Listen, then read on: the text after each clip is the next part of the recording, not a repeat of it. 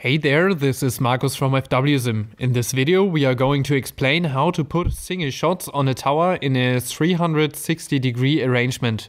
You might want to use a circular set piece, also called a 360 degree head, elevated on a tower and then arrange your shots in a full circle.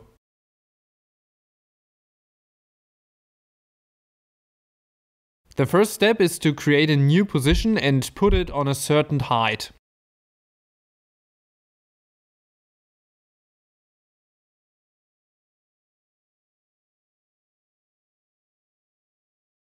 Next we are going to add a few single shots at various angles.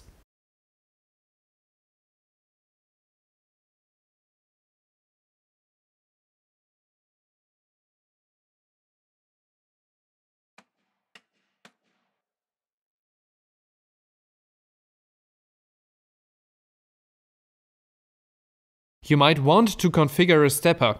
We will place one that goes from left to right.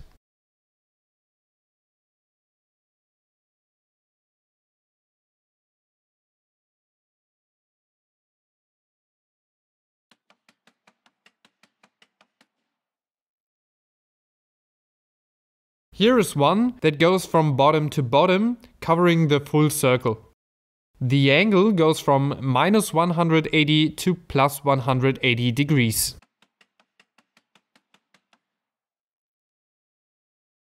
Finally, let's make a copy of our first stepper. We configured it to cover half a circle going over the top. How can we make it go over the bottom? The sliders only go from minus 180 to plus 180. But you can enter higher or lower numbers into the text box. So instead of minus 90 degrees, we let our stepper start at plus 270 degrees.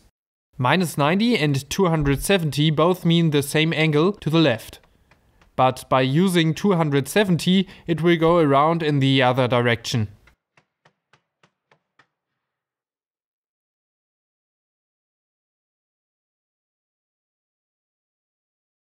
You might want to connect the shots on the 360 degree head to different modules depending on their angle. For example, for easier wiring, some people put 0 degree on one sled, 15 degree on the next sled, and so on.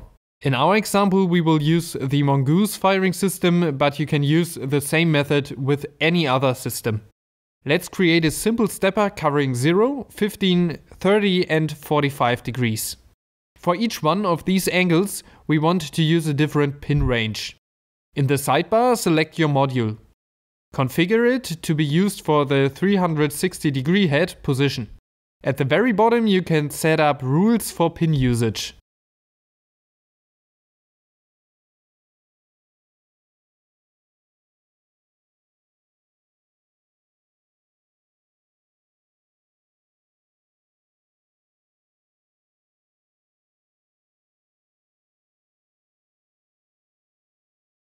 After automatically assigning channels, we can see that the pins have been assigned depending on angle.